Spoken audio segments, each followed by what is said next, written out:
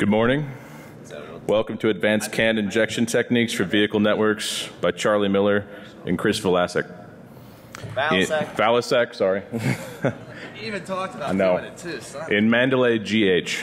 Before we begin, a few brief notes. Stop by the business hall located in Bayside AB. The, biz, uh, the Blackhead Arsenal is on in the Palm Foyer on level 3, and of course the Arsenal receptions at 5 p.m. If you haven't picked up your merchandise today, it's your last day. Uh, you get Black Hat swag in the bookstore. Visit the Kali Linux Lab, Mandalay Bay A. And finally, thanks for putting your phones on vibrate. We don't want to hear that. With that, Charlie and Chris. Thanks, everyone. Yeah, thanks for uh, crawling out of your beds and making it here on time. Um, your favorite car hacker guys are back, looking more handsome than ever, if I do say so myself. Uh, we had some alternate titles for the talk. Uh, the first being uh, "Make Andy Greenberg Cry Again." It was it was kind of sad to see a grown man cry in a car on a highway, but There's some dispute whether he cried or not, but I think he claims he didn't cry. He definitely cried. Uh, the other one was uh, Charlie found a guy on the internet who wasn't right about something. Shocker to most people. know. I know. Uh, I was up for days. it's just pulling your hair out. Uh, anyway, agenda. Uh, Let's go back to that guy wrong on the internet. no, seriously. So like, it's it's a people think that once you can send canned messages in a car, like you're done, right? You've won. You can drive the car to LA or wherever you want. But as we're, you're going to see in this, if if you don't know that already, that's not the case. There's still a lot of uh, hard work and, and like techniques and stuff that, that you need in order to get control of the, the computers in the car. yeah. And this is uh, our journey through that process. Uh, we'll, we'll go over car hacking quick and then go through uh, some prior research by, by the academics and us, uh, and then talk about limitations we had on our previous attacks. While they were cool, we did have some limitations. Um, then we'll finally get into why these limitations existed, and that's because of a thing we call message confliction. Um, and then finally, we can talk about the new attacks we did and how we figured out to avoid this message confliction and actually be able to perform the types of attacks that we did before, but with less or no restrictions. Um, finally, we're going to talk probably for the 20th time about how you can harden these systems and, and make them more resilient to attack. Hopefully, it's not falling on deaf ears. And uh, then, then we retire. I think we're Yep, done. we're done. We're done This after that. This is it. Enjoy. Enjoy it. Last time you'll see us up here. You can tell your kids you were in our last talk. exactly. Moment in history. Uh, why can message injection is hey man, this is my slide, bud. After you. Thanks. So, um, like, you know, the talk is about CAN message injection, and so I guess let's understand why we care about CAN message injection. So, the first thing to realize, and we'll go over this quick since a lot of you guys know this stuff, is that you've got a bunch of computers called ECUs in your car. One, some that do like, I don't know, the speedo- or the, the dash, or some that know if there's a passenger in the seat, and some that control the power steering or whatever. And they all talk to each other on one or many buses, um, which have different protocols, but the most common one is CAN. So they- they're talking to each other. And what we did last year, and what a, a typical kind of remote attack, which is the things we care most about, um, happen is you, you do some sort of exploit to get code running on one of these computers, and then you start to send messages from that computer to the other computers and try to get them to, to do something. Yeah, you're not remote, remotely hacking the brakes or acceleration, right? You're hacking an ECU that can speak to those things. Right, so maybe that's like OnStar, or in our case, it was the head unit that's connected to the internet, or maybe it's like something with Bluetooth or whatever. But step one is to get that code running. Step two is to send messages to the other computers. Um, but there's not like an easy way to make them like just do what, exactly what you want. So if you're, there's going to be a lot of printouts of canned messages in this talk. So just to, so you know what, what that's all about. Um, like CAN is a very simple protocol. The messages can have at most eight bytes of data. They all have an identifier. Uh, it's just broadcast everywhere. There's no sort of inherent source or destination. And uh, while this format is, is documented, the actual contents of the data is proprietary and changes from manufacturer to manufacturer. So, you know, the message for turn the steering wheel in the Jeep was much different than it was for the Toyota Prius, right? It depends who makes the car. Right. So this is what like a, a dump of, of CAN messages looks like. And it's just an example to see like you've got uh, an identifier and then you've got some data. And this data at first is just bytes. We don't know what they mean. What's this really cool format? I like this. Whose tool is this? uh, that's our tool. Oh man, that's really nice. Uh, what's it? What's this one? Ecom cat. Ecom Cat. Okay. So anyway, great tool. Recommend it. It's it's available. You can download it. Get it in Um, the App Store. Uh, it's not in the App Oh. Store, but uh, I'm not allowed to publish it. Yeah, you're not allowed to publish it there. So uh, anyway, you can see and like just by playing around, you can figure out what these bytes are, um, or you get a tool like Vehicle Spy, which makes it really easy. But anyway, the point is, you can see the first couple bytes are in this case the steering wheel angle, and this isn't like telling it what angle to make it. It's a report from the steering module what the current angle is. Um, and then you get some other things like uh, what gear you're in or what counter, and there's like all these messages floating around, and you just got to figure out what they are. And so that's what that's what normal traffic looks like. You know, there's there's tens of thousands of these messages flying all the time. Um, there's other kind of messages called diagnostic, and these sometimes you'll see during normal traffic or normal like driving conditions, but usually this is messages that you see when like a mechanic's working on your car. So a mechanic's plugged in, he's running some sort of tool to like you know fix something or query to make sure something what's broken in your car. And these messages follow a different, even more structured protocol um, called ISOTP and ISO 14229. And you can see here there's like sort of a challenge response going on. And uh, here by the identifier, you can kind of tell uh, who's talking to who and that sort of thing. Yeah, this is a more request response uh, protocol than just spitting messages out the bus. Right. And so again, while a lot of this is, is specified, still the actual data itself, you don't necessarily know what it means. You want to talk about Yeah. these guys? Prior research. I don't know how many times we have to show this video, but cue it up again. Did it. check your uh, flag area. By sending their malicious code to the car. So you want to say who these guys are? Yeah, these are the researchers from the University of Washington and the University of California, San Diego. Uh, they were able to remotely compromise a car and uh, do a bunch of different things, such as uh, apply the brakes uh, and kill the engine and change the speedometer. But they were the first ones to remotely hack a car. Works. And so again, they followed the procedure. So step one, they remotely attacked. They had a couple ways to do that. OnStar and uh, they're very happy. OnStar and That's uh, Carl. Carl's awesome. yeah, OnStar and Bluetooth, and then uh, another way which isn't quite as cool. And but so they remotely do that, and then they send cam messages to in, the, in that video lock up the brakes. These attacks involve sending those diagnostic messages, right? Um, like I said, they could break, they could kill the engine. Um, there was no restrictions on these diagnostic messages, right? The car, as you saw, was kind of hurtling down that, that speedway. Um, and they were able to send a diagnostic message, probably what, reprogram some stuff or whatever, or send Yeah, a diagnostic just- message to apply brake caliper That's what they said. one. Um, we found out in later vehicles there were restrictions on when you could send these type of diagnostics. Right. So any car built ap- in the la- that we've uh, encountered at least uh, built in the last five years, you can't do that anymore. You can't send diagnostic messages while the car is moving more than a few miles an hour, Yeah. which is smart, right? Start this. All right. So he's afraid to touch the computer. I don't like the Max. I don't touch them. So here's here's us in 2013. I Found a spot. Like we're gonna send some diagnostic messages and tell the brakes Right. not to work. Now we're up That's my favorite video.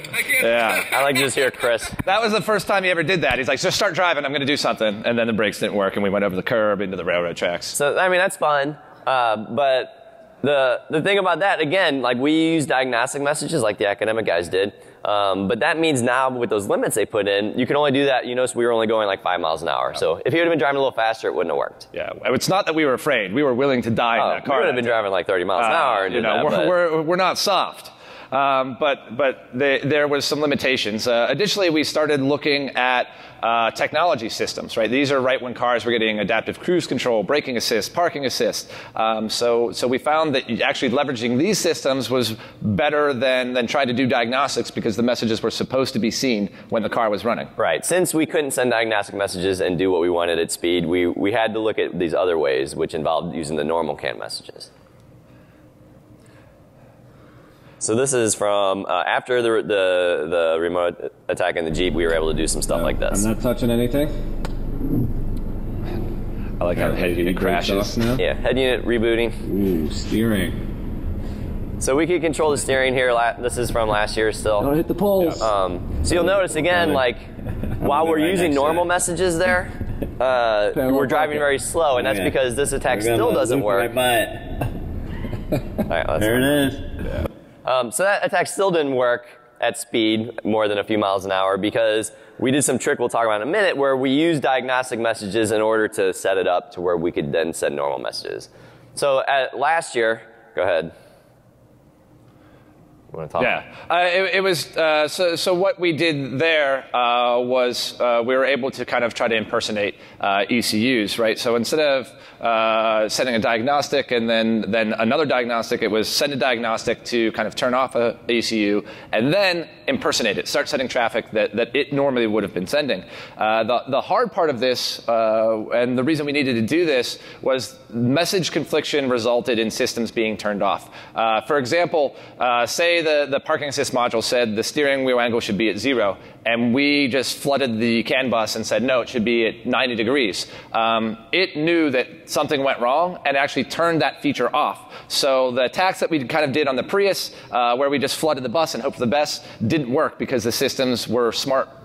Right. So you, you can imagine that this is happening, right? There's the, you, you might think that the computers just send messages once in a while, but in real life, what happens is the computers periodically are sending messages all the time. Yep. And so for the steering example, there is a computer and it's always saying, don't turn the wheel, don't turn the wheel, don't turn the wheel. And so when we say turn the wheel, uh, this, the, the, the, the steering computer gets these two types of messages, right? And it's like, well, what's it going to do? Like, I don't, you know, it has yeah. to decide what to do. And what it does in the Jeep and probably many other cars is that it says, fuck this, I'm done. Yeah. I'm, I'm, I'm Peace, I'm out. I'm no, turning no off. more fun I'm, for you. Yeah, I'm not doing anything. Yeah. And, uh, you know, too bad. And so that's why we couldn't turn the wheel at speed last year. And also, like, one of the reasons that I was interested in this is we gave a talk after we did the, the Ford and the, the Prius stuff a long time ago. This was like two or three years ago in front of a bunch of automotive industry people. And we were talking about, oh, how we did this or we did that. And there were people in the audience that were just like snickering and like whispering to each other yeah. the whole time. And we're like, what's, what's the deal? And they're all like, oh yeah, well, we, uh, you know, our car wouldn't do that. Yeah. Like, ours would never do that because we, we would, we would yeah. notice it. Like, oh no, the system turns off. You can't trick it. Right. And so we're like, anytime anyone snickers, it's like, a, no. Yeah, okay. We waited for him in the parking lot, beat the crap out of right. him. Yeah, we did both of those. We did that, and, we're going to show how. And now we do this. Right. Warrior philosophers, hackers. Uh, yeah. So anyway, it, it, we, we really needed to do these diagnostic messages to make anything interesting happening. But at the same time, these didn't work at speed, so we only had videos of us doing it at slow speeds. Right. So if you weren't paying attention, you thought we did everything last year, but we really didn't. So this is like basically was the state of the art of injecting cam messages, uh, you know, before an hour from now. so uh, when the academics did on their 2009 car, they were able to do brakes, uh, whatever they wanted. Um, they didn't have any steering control, but not because they didn't, they weren't smart enough. It's just their car didn't have that functionality. It didn't have the way for computers to control the steering because it, it was too old. Um, and then they didn't do like acceleration or anything. But if you see all the yellow here, right, there's one anomaly which was we could uh, engage the brakes on the Prius anytime he wanted. Its pre-collision system wasn't very smart about which messages it received, so we could always brake. But other than that, there's a bunch of yellow, which means all these cool attacks required the car to be going less than five miles an hour or so. So in reality, while there you know is a big attack surface, the actual application of attacks up until today have been the car had to be going slow. All right. Well, everyone's been freaking out about car hacking, how dangerous it is. In reality, if you had a car built since 2010 there was no real like physical risk to yeah. it. It was like at least someone didn't prove it yet. Yeah. So like you know yeah if someone's gonna hack you and turn on your windshield wipers. Go ahead. Nice. Thanks. Yeah. And as uh, Michael Osman said, uh, activating windshield wipers is the hello world. Car hacking, that's true, right? We could do a bunch of cool stuff and we could do it at speed, but like, who really cares if we can flick your lights or turn your windshield wipers on? It's right. a nice parlor trick, but I don't think it actually has a, a huge safety impact. When Chris is saying it's a nice parlor trick. Yeah. Exactly. My whole life's a parlor trick. He's the king of parlor tricks. So, yeah, so like we want to do more. We want to see, like, we need to understand what attacks that would affect physical systems look like so that we can then defend against them. Yeah. Now, don't get us wrong, there are times when you can have uh, conflicting messages and the system still does what you want it to do. Right. So, yeah, the breaking in the Prius he mentioned happened in 2012 was like that. So the, it, the, it got conflicting messages. The regular computer saying don't turn on the brakes, uh, us saying turn on the brakes, and I guess it decided like, well, I better play better safe. safe than sorry. Yeah. All right, I'll apply the brakes. So there's a similar situation on the Jeep with acceleration. So uh, the way that that the Jeep's cruise control works is there's a computer on the steering column, and uh, the buttons on the steering column to control the the the cruise control. You press it, and every time you press it, it sends a CAN message to uh, the engine or to, to accelerate or decelerate or whatever. Um, and the thing that makes this not have confliction is it's not saying all the time like cruise control's off, cruise control's off, cruise control's off, and then I'm like, no, it's on, and then it's like, no, it's off. Like that would be bad. The way it actually works is buttons not pressed, buttons not pressed, buttons pressed, buttons not pressed, and that makes sense. That's how buttons work, right? They You're don't- like buttons are either pressed or they're not. Right. And so like while the steering column is constantly saying the button's not pressed, I can as an attacker say button was pressed for a second and then it's like, oh shit, someone just turned on cruise Yeah. control. Look, oh, I got to speed up. Yeah. So so we can do this attack without confliction.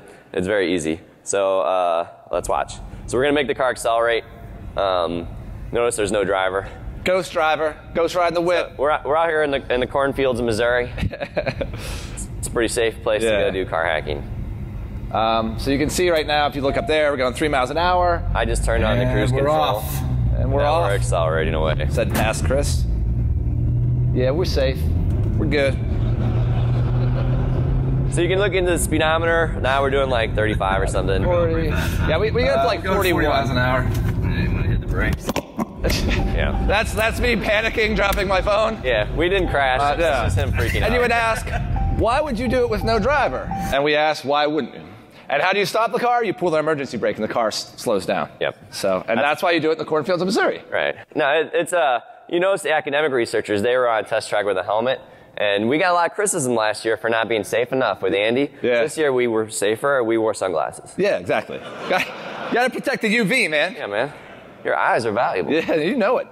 Go ahead, buddy. All right, so um, so that's fun. Let's talk about some more stuff. Uh, so last year, after we we gave our talk, Chrysler patched everything and fixed things up, which was awesome. That's why we did it. Like, you know, well done. They did a great job of that. Um, but the one sort of hindrance that it, it causes to a researcher is their fix actually caused us problems in, in wanting to examine the head units more. So let's see why. So the first thing, they, they fixed it in, in a lot of different ways. Um, the first thing they did was they made a, a recall. And so that means you're supposed to take your car in and get it fixed or whatever, which not many people probably did. Nope. Um, another thing they did was they emailed out, or they, they mailed uh, USB sticks to people, and then the person was supposed to update their car with that, which uh, Yeah, probably I, not. I assume that a lot of those went in the trash. yeah, uh, I don't. I don't know if I would just plug in a random USB stick into my car. I would. I'm a risk taker. Yeah, well, you're you're yeah you are. So anyway, so that so that was to fix the actual vulnerability that would allow us, you know, to excuse me, remotely attack the car. But the problem with that was that there's still going to be a ton of cars out there that aren't fixed, right? Because people aren't going to get them fixed right away. Um, so the other thing they did, which was really smart, was uh, they went. It was a great idea we had. Yeah, Um, shocking. Two geniuses came up with it. Yeah, uh, but anyway, uh, we, we, we- there's enough credit for everyone. uh, so the other thing they did was they contacted Sprint, who was the cellular carrier that the car used to, to get on the internet, and they blocked all the incoming traffic to the cars. Yep. So then we couldn't, even if the car had that vulnerability, we couldn't send the traffic to it anymore to, to Th- this had the biggest impact, right? We could no longer uh, connect to port 6667 and do that debus stuff and compromise head unit. This actually made uh, the vulnerability, you know, kind of Right. go away. Yep. And the amazing thing about this is this means that they didn't need to ever have traffic going to the car. So it's not like they had to just fix the vulnerability or, or block that service, block that one port. It's like, oh no, we never even Yeah. needed to talk to Like, well, you didn't talk to Steve down in network engineering? And he's like, what, what? Oh, shit, hold on. Yeah, no, turn it all off. That was a bad idea. Like, yes, it was. It was a terrible idea. So anyway, that was that's the most uh, you know impactful fix they did. But the one other thing that they needed to do was what about Wi-Fi? So the cars can have Wi-Fi as well, and that was if if the port was still available there, we could have still exploited it. So the way they fixed that was uh, they just instituted some sort of business logic that said when you so the Wi-Fi is not free, you have to actually pay for it. The internet connection was free, but the Wi-Fi you have to pay for, and they made it to where when you buy it, it checks the version of the the software running on the head unit, and if it's uh, not up to date, they don't let you buy it. And so there was like some time period of like 30 days when maybe you could have had the Wi-Fi running um, and it, on a vulnerable head unit, but not anymore. And so that's another way that you can't you can't send the, the, the attack anymore to any of the cars. That was cool. So, so that was fun. Um, the bad news for us as researchers is like we want to examine the code on the head unit and play around and check to see if patches work and all that kind of stuff. And the way we used to do that was we took advantage of this little bug that was in the software um, that was like super cute. I thought so. Basically, they had some backdoor in their their their code that they were checking. To, so they do some authentication. It's got to be signed and all this kind of stuff, like you would hope. But there's this one little check where they're like, oh well, if the 10th byte is an S, then we just we just let you do it. So uh, so that's the It's what, a feature, not a bug. uh, it's a great feature. I love it. Um, and so the way we used to get code run, like a shell on the head unit just to play around, was we would we would take advantage of this bug, and the code we would get it to run is we would start an SSH daemon, and we would you know SSH in, and everything was cool. But because they uh, they turned off the Wi-Fi on this version of the head unit, we couldn't do that anymore. So it's like, well, I still want to play with the head unit version I know. I- Researchers want to research. I know. I like have all my IDA databases for this version and stuff, right? Yeah. So I was like, bummer. So we were like, I had to find a new way to do it. And shout out to Brian Rose for this. He did a lot of the, the heavy lifting on this. But it turns out there was some code, and it's like it has a check where if you have a very particular uh, USB adapter and you plug it in, it automatically starts SSH and you can connect to it, which is which is cool, right? Um, so- Feature. Right. So you go and you buy this exact thing. It's like 30 bucks or whatever. You plug it into your, your USB slot on your Jeep, and then all of a sudden you have an SSH connection. But you don't have uh, uh, an account or anything, right? Oh man. That's a drag. But because we already previously had seen the firmware, we knew what the the um, you know the hash of the of root's password was. Yep. But um, so then you just crack it, and this is our password, DT Donkey. Yeah. And I, I'd like to know what the DT donkey like inside joke is. I know, man. You know, like ah, if someone knows, come tell us because we want to have a chuckle. Off the record, I just want to know what's up with the DT Donkey. All my passwords are DT donkey now. I know. I from my banking site, DT Donkey one. What? Oh, yeah, But, that's a good you know. one. So anyway, so now you can get a shell. Everything's good. That's just like has nothing to do with our talk. It's just Yeah. sort of fun, fun little side note. Yeah, a little something. Anytime you know a secret password, you gotta have Yeah, a yeah, yeah, exactly. All right. Um, so now let's talk about what we did. Yeah, and most people don't realize that a lot of this work is just reverse engineering firmware blobs, right? This is like a vast majority of the work. I mean, the videos are great and they're, and they're great for people to see because it kind of gives them some perspective, but honestly, it's just sitting in front of IDA Pro for endless hours, right? That's the non sexy part of car hacking. Yeah, and the hard part too about car hacking is that you're not looking at except the head unit, but which we don't care about this this year. Um, the ECUs are running some you know weird architecture on some weird chip and like some real-time operating system. So it's not like Linux on an x86 computer or something. There's no strings, there's no exports, there's no imports, there's no lookup tables. Like, it's just a binary blob, and you have to pick the right architecture and then infer stuff from there. Yeah, it's hard So- to get started. And we want to say, like, hey, what does this thing care about RPMs or speed? Or how does it do diagnostics? What CAN messages is it interested in? We basically just want to figure all this stuff out. Right. And it takes a lot of time. Yeah, I mean, the basic questions we have are like, okay, if, if the steering won't turn when you're driving 60, but it will at five, like, why? Why is that the case? Right? Yeah. How do they check that? Like, you know, what checks are made, and, and can we circumvent that somehow? And we made assumptions before, but why have an assumption when you can look through the code and know definitively? Uh, little tips. Uh, we had to guess some, some of the processor types before because we couldn't get them out of the car. Um, so for the power steering control module, it was like we just went to Renaissance's site and started going through all their architectures, and they're like, oh, this one says it may be used for steering. You download the data sheet, you look at the memory mapped I/O, you try it in your IDB, and after doing that a couple times, lo and behold, we figured out what it was. Uh, so some of it is just guessing the right stuff and trying. I, I think that's called skill. Oh, yes. I forgot about that. I don't have very much of it. Um, known knowns, right? So we had the mechanics tool, and those mechanics tool have secret byte values that are used for things like security access, which is a diagnostic, right? So you look for those constants in the firmware, and if you can find some cross references and, and look at the code, you'll say, hey, this looks like it's checking for this value. Uh, I can infer from that that's a diagnostic routine, and then you work your way back up the call chain to figure out what happens. That's why it's called reverse engineering and not forward engineering. Oh, You see? I always wondered why Little drops of knowledge today. Yeah. So People I mean, learn something. You get this huge blob, and you have no idea what any of the functions do, and all you care about is like the one function that deals with. Yeah. Uh, you know, CAN messages that have to do with speed, Yeah. but it's like, how do you find that? And so these kind of tips are what get you to the right. and remember too, that has all the code for actually doing car stuff that we don't give a shit about. We just want to know about what it's doing on CAN and how we can manipulate it.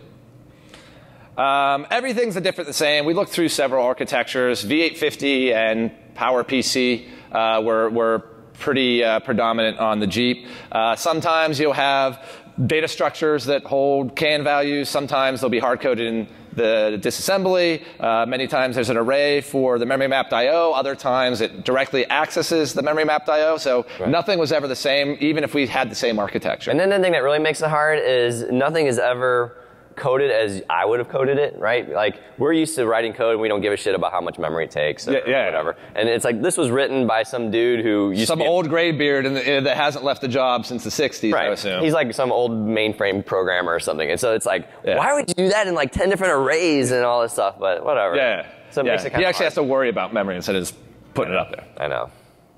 Um, base address, remember, I think this is important always in reverse engineering, but like, find especially for these, because we are so heavily dependent uh, on, on cross, cross references to different memory regions. If you don't have the base of your disassembly right, it's going to be bad times for you, and you're not going to find what you want. You may see things that look like what you want, but they're going to be incorrect. Um, luckily, Yeah, there's a couple ways you can do it. yeah, right? luckily for us, uh, you can find that. Uh, you can sniff the CAN bus using eComcat, best tool out there, I think. Uh, or, or secondly, the mechanics tool actually had uh, it was all in Java, so we could just uh, actually create a Java program, feed it a, a firmware file, and it would tell us what the base address would be. Obfuscated job. Obfuscated JavaScript. We'll get to that later. As I said, our approach, find CAN registers, right? Find CAN IDs. Basically, what is it doing with CAN? And we know the CAN IDs because we can sniff the bus and record them. And, you know, we found out before that this is this, what, O2, E4, whatever, that's speed. So maybe if we find that value, it's doing something with speed right? Um, finally, we, uh, there, there's a lot of checksums used and, and diagnostic routines. Again, those are kind of constants. We can identify functions that make a checksum pretty easily. Uh, you search for XOR as an instruction and then find all those cross references and figure out which one is actually doing a checksum. Yeah, like 80% of the XORs in an ECU is for checksum Yeah. purposes. That- Someone was like, How did you find it? I was like, Well, I looked for the XOR instruction, then I went through all 2,000 of them. That's pretty much what we do. Yeah, it's easy. And so this is what like things look like in IDA Pro. It's all cool. Um, I don't think we're going. Yeah. yeah. Now, and this is the PAM, right? This is how we found the, the, the Parking checksum stuff. module. What's that? We're supposed to define. Oh, our, sorry, parking assist module. Um, you know, this is how we found the checksum algorithm, and we knew checksums were the last byte in the CAN payload, so cross-reference to this function, right? Then you're going to say, okay, I assume they care about a checksum. It's probably doing CAN parsing. So uh, it's, it, it takes a long time. Additionally, we talked about these arrays that hold, uh, uh, you know, uh, a pointer to memory mapped I/O. You can see all the cross references. Oh, those are a lot of good function names there. That's, uh, those are definitely Charlie Miller's because I use some capital letters in mine. yeah, those are mine. Um, but basically, you say, okay, here's the array that, that points to memory mapped I/O, right? Everything that touches that probably doing CAN stuff. Um, then finally, you can dump the mechanics tool, especially easy when it's in Java, uh, because you know you can just decompile it.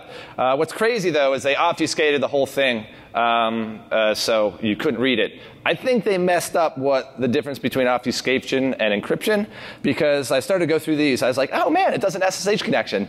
Wonder if they use a password. Luckily, they didn't. They were using keys, um, but also their private keys were just a string in the program too. So right. So uh, you you can know, just go log in and like I get all the firmware, Yeah, maybe write firmware. I don't know because that sounds like breaking law, and I wouldn't do that. we don't do that. So yeah, but if if you ever want to know how your car or the mechanics get the the, the firmware updates, they SSH into. Uh, server. the, the Chrysler servers with these keys. So Yeah, feel get free firmware. to feel so. free to do that. Yo, get yourself some firmware. God. All right. So um, the first thing that we were like, okay, well, you know, we're reverse engineers, so we'll just start. We'll flash the new firmware on the steering module and tell it to steer. Right? What could be easier? Than Easy that? breezy. Um, so you got to understand how the update mechanism works. So to do that, you basically let the mechanics tool do it and see what it does. Um, it's mostly pretty standard stuff. Uh, it, it like puts in diagnostic mode, does the security access thing, which is supposed to stop regular people like us from doing that, but we have all the secrets, so it doesn't stop us. Um, and then they do some something that we don't understand, but if you just do it, it works. Um, and then they, they send some routine control to they erase the firmware, and then they use sort of a, a, a standard kind of way to, to transfer the new data. Um, and then the one little secret thing is they do this other this routine control with a checksum. And if the checksum doesn't work, then it won't load that, that firmware. And then they reset, everything's good. So the, the only thing that's going to stop us is this little checksum, right? So let's see what it, what it does. Um, so this is what an update looks like um, happening, and you can see like it's doing its thing, and then this is the last one. It does a checksum. The checksum here is like CD5D. It's the blue letters, if you can see the blue. Um, and then the response back is uh, 71, which is good. So this is what it looks like when things are good. If you send in the wrong checksum, then you get back a, an error response that the error code is general programming failure. So if you don't know the checksum, it won't let you update that firmware. But again, it's not like a cryptographic signature or something. It's Yeah. just two bytes, right? And so if you want, you can just try to brute force that. So uh, we did. Um, and so basically, I just left my car running for out in my driveway for like a day. Save the planet. Yeah, man, one one car at a time. That's all you can do. and so, uh, like, it was quite fun. So I would just walk out there every couple hours, like, oh, did it did it find the checksum yet? It's like, nah, not yet. And then my computer was overheating because it was like hot and stuff. And so I was like, oh, I know. Uh, how to solve this problem. So I put my, my computer on the, the passenger seat and I turned on the vented seat. There you go. So it blows like air conditioning right on the computer. It's like a supercomputer inside of my car. And then after like, you know, nine hours or something, it found it and then it was fine. So That so computer's the worst. It's the absolute worst. that computer, You're gonna hear in these videos, you're gonna hear this like loud buzzing noise. It's this piece of shit computer. It's terrible. it's, it's fine. That computer has won four pwned owns and hacked like three cars. It's time to retire it as well. yeah, I guess. Is there like some sort of museum for old computers? I don't want to just be. throw it away. anyway, so so we could have done this, right? So we, we showed you can brute force that and, and do it, but like it's not an ideal experience, right? Um, not to mention the gas. Like I was almost afraid I was going to run out of gas because I only had like a quarter tank. I was like, How long could a car idle? yeah, I don't know. It doesn't take much gas, but it does eventually use some. Um, so this is a bummer because every time you make a change to the firmware, uh, you would have to redo this checksum, which again is nine hours or whatever. And that's fine if you know exactly what you're doing and you, you know, have an actual like environment, but we're just updating bytes in a binary blob. There's a very good chance that we mess that up. Right. So we're gonna probably, for one thing, brick the car, and for another thing, uh, have to make changes and have my car running nonstop for weeks, which I didn't want to do. No thanks. So like, worst case, we would have done this, but we found like like let's see if there's an easier way to do it. Let's see if we can just do it purely by CAN messages. Yeah, yeah. Want to go? Yeah, sure. Um, we talked before about what we call message confliction, right? Uh, what happens when the attacker is sending a message and the real ECU is sending that same message and the values conflict? Uh, answer, it depends on the system and the vehicle. So, uh, if you see here, the car's going zero, right? It's going nowhere. We're telling it it's going 40, but it's getting messages saying it's going zero and it's going 40. So you see it kind of going up and down there because the messages are conflicting. Now, the speedometer isn't broken or doesn't respond. It just doesn't really know what the speed is. Right, and, and you can solve this problem by just sending more messages uh, faster, let's say Yeah. 40. We purposely sent them kind of slow so you could see that it's kind of fighting with itself. Yeah, you can flood the bus and get it to do your speed exactly. so that's what confliction kind of looks like in, in the real world. But uh, for speedometers and simple stuff. But for real things like braking or steering, this is what it looks like. Uh, so we're going to just tell it to turn, the, or, or turn on the brakes, I think. Yeah. We're going to try to use the adaptive cruise control to activate the brakes. And if you look here at the screen, you'll see it actually say that the adaptive cruise control system is unavailable, and you see that light lights up, right? What that means is it got re- conflicting messages, um, but it was like, nope, I give up. I don't want to do this, and I'm going to turn that system off. So you can't just flood the bus. Uh, you mess up once, you're screwed. Right. All it takes is one message that conflicts and it turns the system off. Well, in most ECUs, Yeah. you'll see that's not always the case. So we uh, invented message unconfliction, trademark pending. Uh, what we want to do is ensure that only our messages are received. Um, a- and, how do you do this? You could trick the receiving ECU, uh, or you could stop the real ECU from sending messages and then pick up where it left off. Uh, the last thing that you could do is you could have some device plugged in here that would invalidate messages as it saw them, but that would require physical access. Now, while we were plugged in for this research, all these attacks are applicable, ap- applicable from a remote standpoint. It's not that, that you couldn't do these remote, it's that we didn't find another, we didn't even look for another remote bug because we knew it was possible. Right. Um, so yeah, so let's first talk about how you can trick uh, ECUs, and then we'll, we'll go on to the second step next. So the first thing is uh, if you read the, the assembly for the, the steering module, which is the one we care the most about, you can watch the code that, that checks the messages that come in. And you'll notice this third byte, it looks like some sort of counter that's increasing, right? Um, and so the, what it does in the actual code is it checks and it's, if it sees two messages in a row that have that same counter value, then it sets some sort of flag that says like I think I saw a duplicate message. And if it sees more than like three or four or five, I forget the exact number of these duplicate messages in a row, then it turns itself off. Yep. But if it sees just one or two bad mess like messages that it thinks are, are duplicates, and then it gets the next one and the next counter value, then it's like, oh sweet, everything's back to normal. Like uh, I'm gonna keep going. So using this the way that that works, you can actually trick it into only listening to your messages. We call this counterbuster, trademark pending. I think Chris calls it this. so uh, you'll see here, this is like real uh, traffic. Uh, the green messages are the ones the attacker is sending, and the red ones are the ones that the real module, the parking assist module, are sending. And what I do is I just make sure to time the messages, and you can do this by reading the bus. There's not, not any luck involved. So that my messages always show up right before uh, the, the same, a message with the same counter value as, uh, as the bad message. And so you see in the first one, it's like zero is my value for counter, and then, so it, it reads it, and then it gets the message that's in red with the value, value zero. And the code is like, up, oh, uh, I already saw this one. I can ignore it. But I'm to pay attention. If there's any more bad ones, I'm to turn myself off. And then it gets the next green one, counter value one. It's like, oh, sweet. Back to Everything's good again. Uh, I'm going to read this message. And then it gets the bad one, or it gets the, the real one, the, the one that's actually good. And it's like, oh, this is a duplicate, throw it out, but I'm going to be, pay attention, and so on. And so in the end, it only reads the green ones, which are ours, and it ignores all the red ones, which are the real ones. So essentially, what we're doing is we're beating the ECU at its own job, right? We're just doing it in a time fashion that, that makes our messages work instead of the real messages. Right. And in the end, this is the only thing that we told Chrysler they should fix, is uh, not let you do that. Yeah. Um, so So that's one trick. that's one. That's one trick.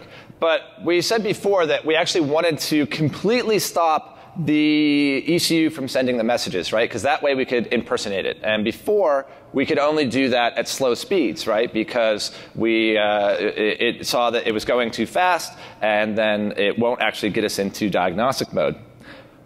But now we can forge the speed, right, reliably, and then throw the ECU into uh, uh, boot ROM mode or diagnostic mode, and then put it in boot ROM mode, basically reprogramming itself.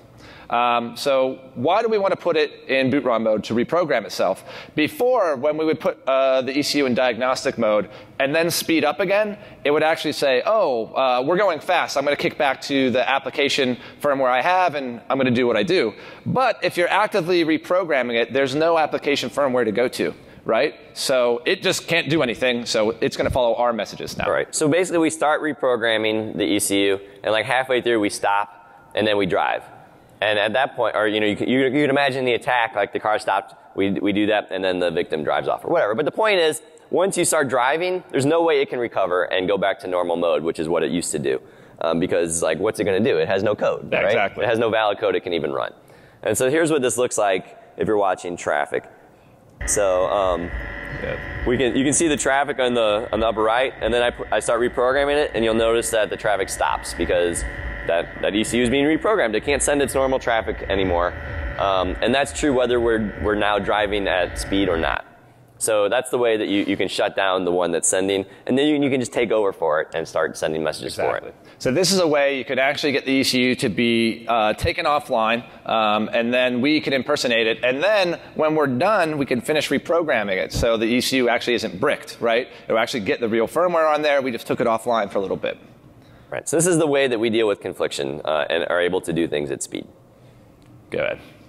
Okay, so uh, the first thing that we can we figured out to do is put the power steering control module, the one that does the steering, into diagnostics while you're driving uh, fast, which you shouldn't be able to do.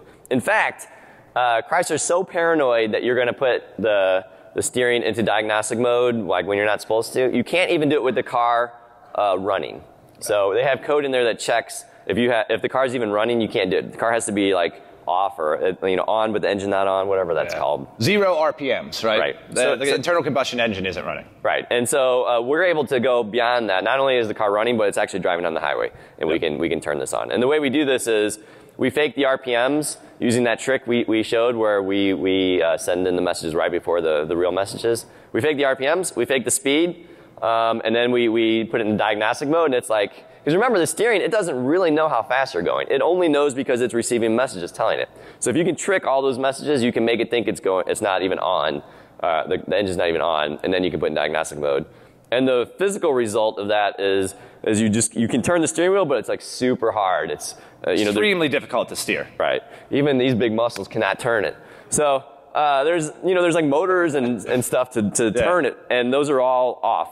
And you you have to not only turn against the, the, the car itself, but you have to fight against all those motors that aren't aren't on. Let's show them an example.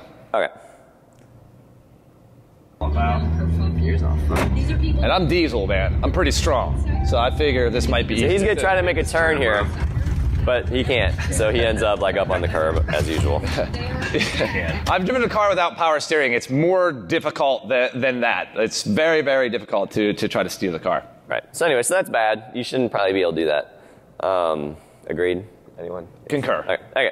So uh, that's one thing is, is you can do diagnostic sessions at speed, which you shouldn't be able to do. Um, then the next thing was let's see if we can engage the brakes at speed. Um, so the way we do that is there's you know the there's the emergency parking brake module is normally sending messages saying not to engage itself, and then there's this confliction problem. So the way we deal with that is we knock the parking brake offline using this like reprogramming halfway trick, um, and then we send messages that say like everything's fine, and we're like oh turn on the brakes, Yeah. and then they- they turn on. Yeah. So. So here you go. And how do you know, Charlie, that you're not actually just applying the brakes in the car? There's no way you can know that. Well, there may be one way. No. So I mean, you, you can't. I mean, that's the whole thing about these demos. It's like You don't know if we're lying or not. Right? Maybe I just made it all up. See. We tried to figure out how we could do this, and Charlie said, I'll just drive up with my feet outside the window. So if you look, there's I- no way I could have applied the brakes because I don't even have. Also, in front of him, there's a chain link fence, and I was really hoping I'd get video of him going right through the fence. Yeah. Well, I would not have done that. I would just bail out the window. so I was gonna be fine. That was my plan B. Yeah. But yeah, so you can see we're you know you can drive whatever speed you can apply the brakes uh, to the car, which is you shouldn't be able to do, and it's kind No. of unsafe. Um, so this is just a fun little trick about like reprogramming things halfway. Is uh, with the parking brake you can tell it to apply the parking brake, right? And so it puts these calipers or something on on the actual brake mechanism. Yep. And then you, you reprogram the parking brake halfway and you stop. And then what happens is the parking brake doesn't work, but it's engaged, and so you're stuck, right? So let's see what. It I, looks this is one of my favorites because essentially you put the parking brake on, brick the ECU, and your par- parking brake is perma on All right. forever. Can't 'Cause it's electronic, turn this Off. The parking, that's the parking brake. It doesn't do anything. Can't drive. Can't It's- really go anywhere. So now I'm, I'm like punching. I'm accelerating as hard as possible. You can see the RPMs are like way up. Not good for the But car. I'm not really Not moving. good. Well, maybe we'll turn it off. I feel sorry for whoever gets this Jeep after you. Yeah, it's kind of a piece. It's, it's Smell seen better days. So that we're just showing that you can even reboot like the rubber. car. Smells like success. Uh, some brakes You can, you can smell the brakes. Yeah, I are- just are- smell burnt parking brake. Yeah. So, but anyway, there's nothing you can do, and like, you, like we were able to then reprogram the thing to get it back to normal, but like a normal person wouldn't be able to do that, and a mechanic probably wouldn't know to do that. They'd probably just replace it. Yeah, yeah, that thing's going to the, the shop in a flatbed. just right into the e-brake. Yeah. So funny. Anyway, go ahead. Then, you know, I think the, the, the biggest one was steering, right? We, we showed before we had to steer at low speeds, and actually when we did our demo, it was just reverse, I think, too, at the time. Um, but this is kind of the, the, the most concerning one, right? If you can turn the steering wheel uh, as the car is going an arbitrary speed, then that ends up being pretty dangerous. So, Right. And so, and the trick is same stuff, right? We put the PAM in boot round mode. We do that fake counter trick, um, and then we we become the, the parking assist module, and we tell it turn the wheel, like you you need to park right now, and it's like okay. So here's a, a video of that.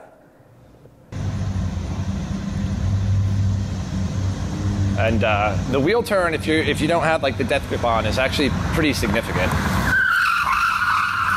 So, So you can see the skid marks there. So yeah, it turns pretty hard. Like you could, if you knew it was coming, you could probably yeah. overpower it. But who's driving like at two and ten with a death grip unless you're Andy If- Greenberg? If, you're not, re- yeah, and he- yeah, I didn't gonna say anything about that. So here's some other views. This is more cornfield shots. All right, ready? Three, two, one.